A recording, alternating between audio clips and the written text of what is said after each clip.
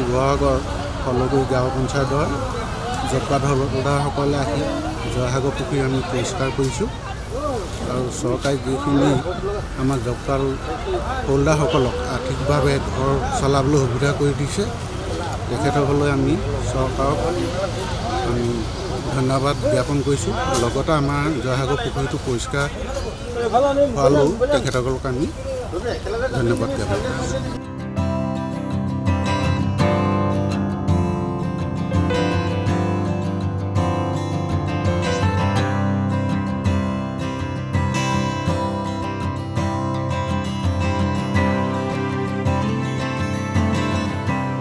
আমি আজি কৃষক আমাৰ কৃষকৰ কাৰণে আমি বহুত দিনৰ পৰা আমি হেৰি কৰি আছিলোঁ। আমাক কোনো চৰকাৰে এইখিনি আমাক সাহাৰ্য কৰি নিদিলে।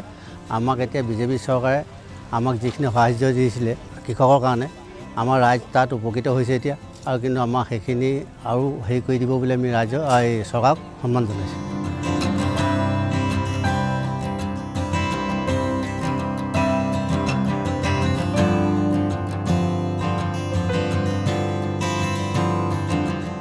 সৰ্বানন্দ সোণোৱাল আৰু মোদী চৰকাৰে যি আমাক কৃষকৰ পইচা দিছিলে সেই পইচা আমি খেতিত লগালোঁ আৰু বহুত যুৱক দুখীয়া মানুহ বহুত উপকৃত হ'ল।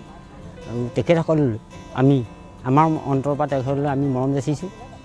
আৰু যাতে আগন্তুক এইভাগে আমাক দি যায় সহায় কৰে তেওঁলোকলৈ আমি সেইটো আশা কৰি ৰৈছোঁ